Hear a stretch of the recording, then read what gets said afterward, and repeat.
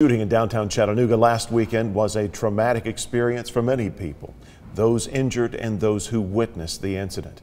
The Chattanooga Police Department's Victim Services Unit is sharing information to provide support and to assist the families impacted. Our Mary Frances Hoots has details. When coping with trauma, the Victim Service Unit says everyone goes through different emotions and experiences a wide range of reactions.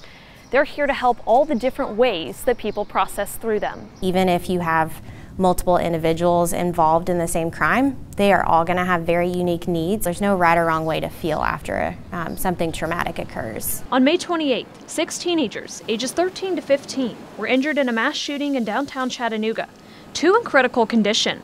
Victims' families and witnesses to the crime are all dealing with the trauma in their own way.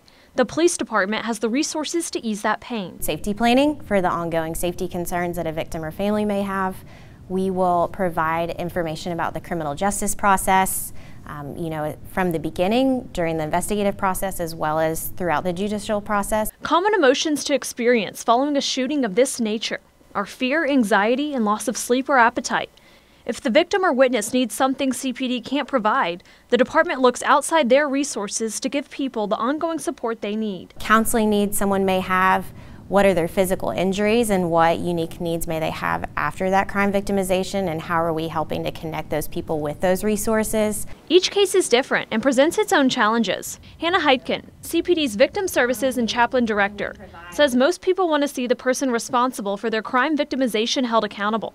And when that doesn't happen, it adds another layer of grief and trauma. It's really difficult to not know who um, or not have the person identified or there to be an arrest made. Thursday, five days after the shooting, Chattanooga police arrested a 15 year old suspect and charged him with six counts of attempted murder.